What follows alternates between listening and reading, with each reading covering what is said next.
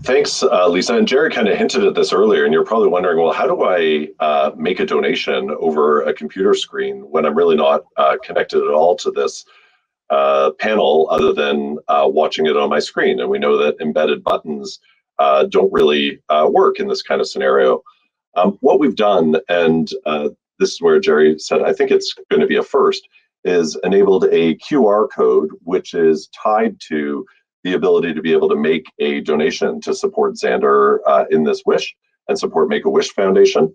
Um, if for those of you who know how to use QR codes, uh, you're probably going to, uh, well, some of you may already be a step or two ahead of me, uh, but uh, for those of you that don't, uh, not to worry, I'm going to kind of walk you through the whole process.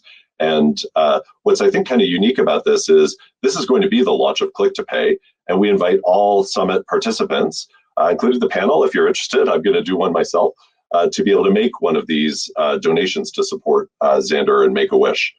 So uh, for those of you that haven't used a QR code before, I invite you to pull out your uh, mobile phone. I think we probably, most of us have them handy. those of you that are watching this panel on mobile may not be able to do this, but those of you that have your phone next to your desktop, it should work fairly well.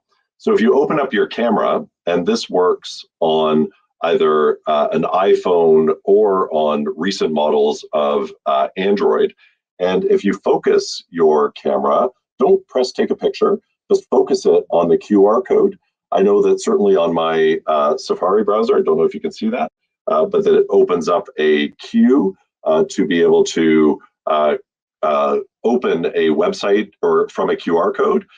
that is the link over to the e-transfer facility. So uh, those of you that have gone through that, you may be looking now at the Interac eTransfer uh, gateway page.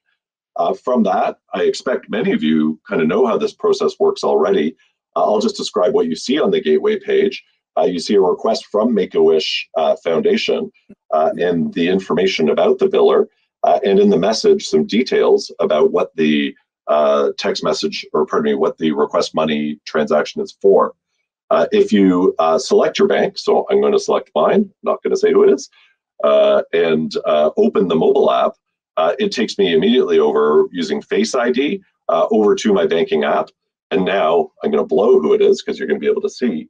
you can see the amount of the transaction directly from within the mobile banking interface. so I'm going to select my account from which I want to make this donation and click the next button and then just uh, accept the uh, payment request. And uh, and yes, my um, money has been sent. So uh, and Make a Wish has received uh, five dollars uh, by virtue of this QR code.